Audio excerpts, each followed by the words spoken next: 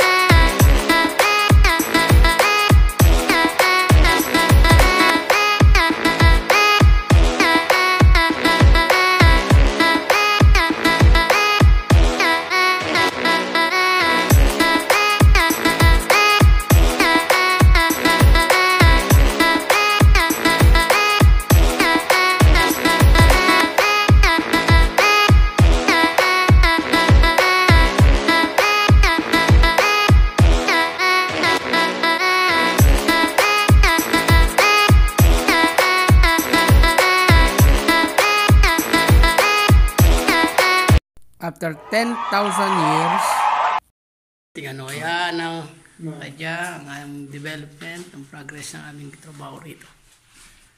Hindi na kayong magpakontrata, ha? Oh, pwede na kayong pakontrata. Ayan, kisame pa. Sa masusunod, kisame naman ang ah, naisara na namin siya. At ang pintuan. Ayan, ang master namin, si Kuya Philip. Number Wahid. Pati po sa likod niyan, hindi pa ganong tapos. Ayan. Pero yun na lang tatakpan. Ganda yung buluan, no? Ayan. Sabihin mo rin yung budget niya. Ayan, ha? Ang alin? Budget. Buhag. Ano yung biglo? Mura lang. Ayan po mga kadya. Ah, ito lang po yung na ito pa yung nasimulan namin ah, natapos namin sa aming ah, project. Ayan po. Tingnan niyo po siya. Ah, almost ah, nasa 70, 60% na kami ng aming trabaho. Mga 60% ganyan. Ayan, kasi sarado na siya. Ayan. Uh, binabatakan na namin, uh, pati. Ayan, nilalagyan na namin ng pati. Ayan. Yung mga dugtungan na na gypsum board. Ayan, yung mga ganitong uh, dugtungan. Uh, nilalagyan na namin siya ng tape. Ayan, kita mo yung, lapad niya. Yan yung mapapantay niya pag nilagyan mo siya ng tape. At pati. Ayan po.